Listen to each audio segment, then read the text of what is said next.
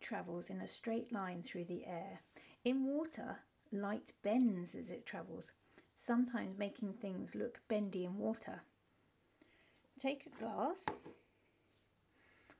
and half fill it with water.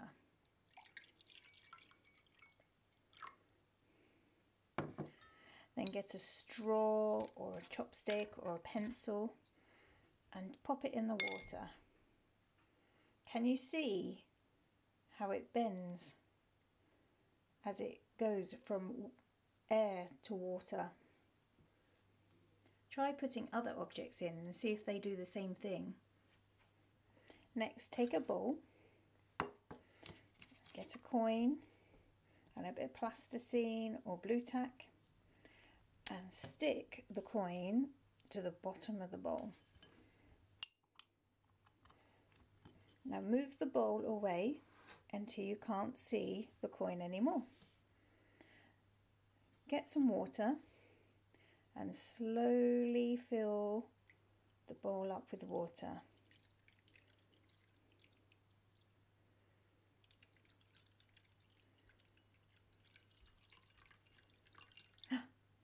until you see the coin appear magically.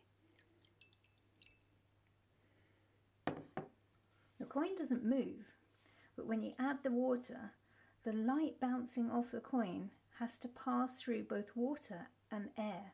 This makes the light bend over the edge of the bowl at a different angle, allowing you to see the coin again. Next, take a stamp or a bit of paper with a drawing on and get an empty jar and put it over the top. Now you can see the stamp or the drawing underneath. What we're going to do, take the lid off, fill the jar with water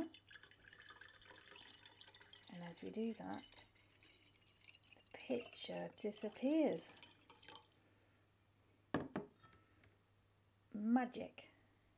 The water is bending the light so much you can't see the stamp anymore. Take the lid off and you can see the stamp clearly from above.